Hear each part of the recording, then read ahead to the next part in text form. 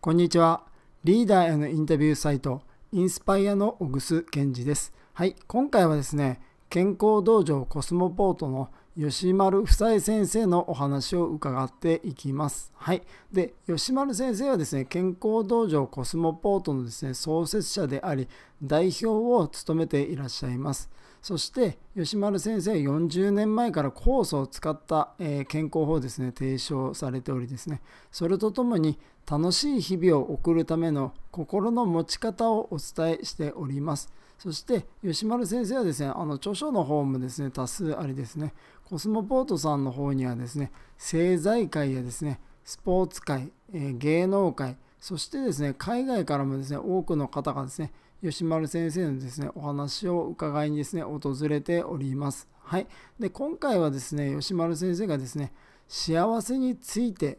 であったりね病気とはそして個性とはそしてその伸ばし方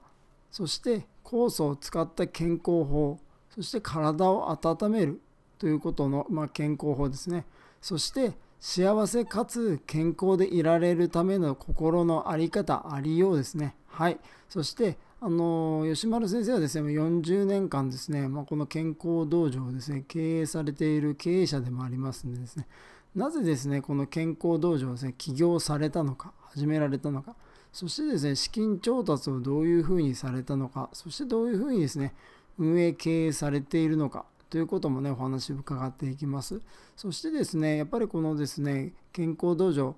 の元であるですね、やっぱりこの東洋医学、そしてですね、この東洋医学からですね、吉村先生はですね、東洋思想の方へね、移行されていったわけですけどね、まあ、その経緯とかですね、あの、老子やですね、良寛さんの考え方、こういったことにまでですね、お話の方を触れていきますんでですね、はい、最後までですね、是非ね、楽しんでね、受講していただけたらと思います。